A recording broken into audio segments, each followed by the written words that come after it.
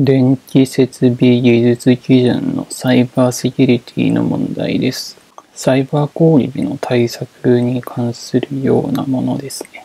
電気工作物の運転を管理する何々は、えーこちらですね。何に限るかですが、一般送配電事業、送電事業、配電事業、えー特定ですね。同じものですね。と、えー何かですが、小売電気事業っていうのが、一般電気事業っていうのが、東京電力とか、関西電力とかいうものにあたって、えーその後、2016年にですね、新電力法っていうのが作られて、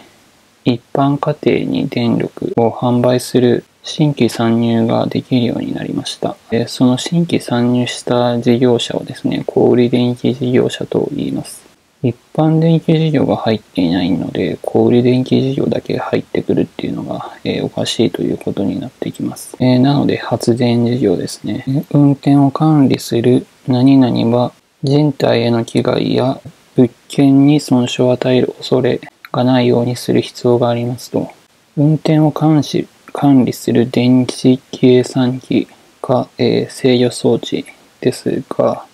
えー電子計算機っていうのは電卓のことではなくコンピューター全般を指します。制御装置というのは、えーコンピューターの中に含まれる一つの装置にあたります。えコンピューターの中には入力装置だったり演算装置だったり、え5種類ほどあるんですがその一つが制御装置になります。え当然、えコンピューター全体をえ管理しなくてはいけないので、え正しいのは電子計算機になります。えまた、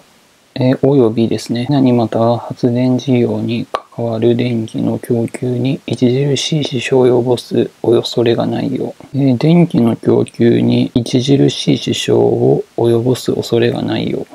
というところなので、